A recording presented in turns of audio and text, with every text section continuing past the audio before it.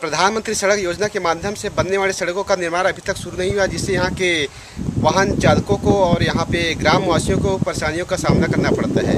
ग्राम पंचायत इच्छापुर से गोस्मागुड़ा तक जाने वाली सड़कों की लंबाई दस दशमलव पैंतालीस किलोमीटर बनना है, जो कि यहाँ के अधिकारियों की लापरवाही से, हम ठेकेदार की मनमानी से सड़क अभी तक बन नहीं पाया है। यहाँ पर विभाग द्वारा सड़कों का निर्माण किया गया है, उनकी जो लागत है दो सौ उन्यासी लाख तीस हज़ार में यह राशि स्वीकृत किया गया है।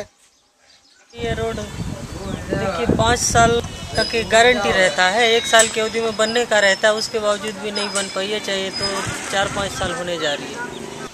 कलेक्टर महोदय को आवेदन भी किए थे लेकिन उसके बाद भी नहीं तो बनेगा ही बोल रहे हैं लेकिन कब तक बनेगा इसका पता नहीं। ये नहीं रोड का जो ठेकेदार कौन है? संजय अग्रवाल। इसके पास आप लोग मुलाकात किए थे बातचीत किए थे? नहीं नहीं हुई है।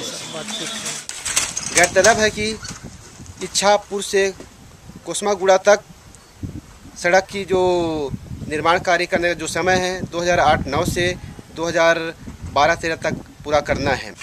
सड़क निर्माण होने के पश्चात मेंटेनेंस के लिए पाँच साल का समय दिया जाता है ठेकेदार द्वारा।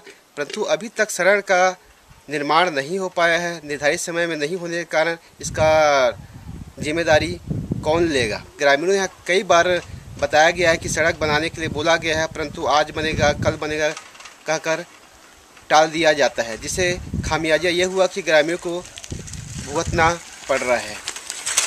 मैं हूँ राम जगोड़ जगदलपुर, जिला बस्तर, छत्तीसगढ़, इंडिया, अनहट के लिए।